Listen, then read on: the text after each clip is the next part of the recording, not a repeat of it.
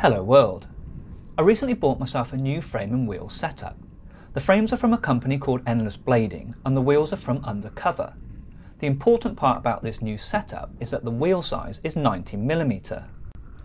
If you've watched my channel for a while, you'll know that I'm a big fan of 80mm wheels. It's predominantly what I roll when inline skating.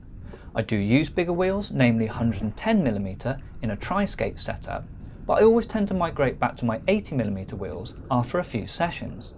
I just prefer the control I have with them, even if they are a little slower than bigger wheels.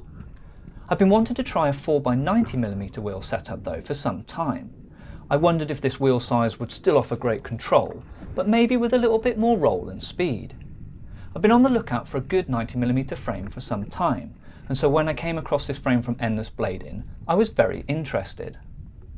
I first became aware of Endless Blading in about March of this year, when I started to see pictures on Instagram of their new frames. To be honest, the first thing that piqued my interest was the design of them. They are a solid looking one-piece construction, and so visually quite similar to a wizard frame. Check out any video featuring Sean Unwin from Shoptask if you want to see a wizard frame. Anyway, I absolutely love the design of the Endless frame. I find the simple clean look really appealing. After doing a bit of research, I then discovered they were going to offer a 90mm version of their frame, and that it would offer a balance rocker. The balance rocker, in very simple terms, means the first and fourth wheels sit about 1mm off the ground, so providing extra turning ability, but still keeping the frame very stable. I intend to do a proper review of this frame in about a month or so's time when I've had a chance to really test them out, and I'll also include lots of information about them during this video. However, I did use these frames and wheels in my previous Skateflow video and I got a ton of questions and comments about them and so I wanted to talk a little bit more about them in this video. Endless Blading are a relatively new company based in the USA and they currently have available three different frame sizes including the 90mm version I have purchased.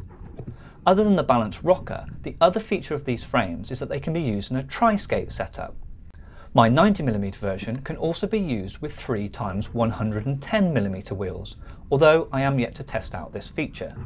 This potentially makes these frames very versatile and I think will appeal to a lot of people. If you want more information about these frames, probably the best thing to do is to go to their website www.endlessblading.com. This is what I did.